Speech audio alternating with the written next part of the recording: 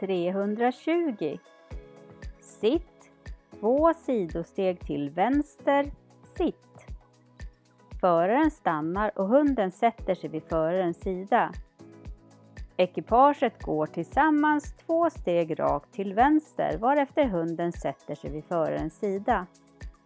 Därefter fortsätter ekipaget framåt i det tempo som gällde före momentet. Skylten är placerad på ekipagets högra sida.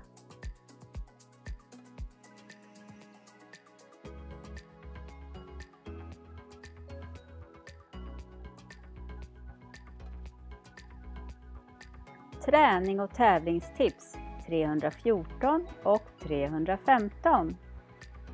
Träningstips. Var noga med att hunden står rakt framför. Du kan använda hjälpsteg i din träning.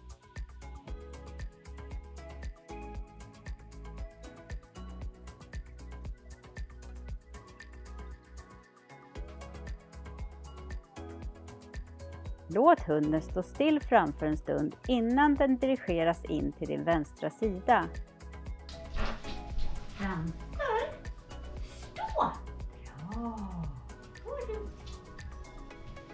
Duktig!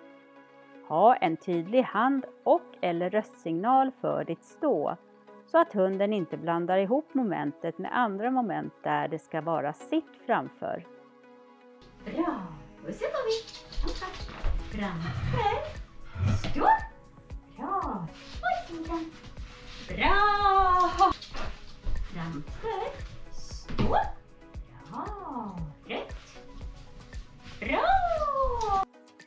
Tävlingstips.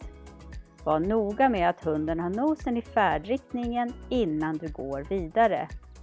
Går du för tidigt kan det ge minus 3 poäng förarfel.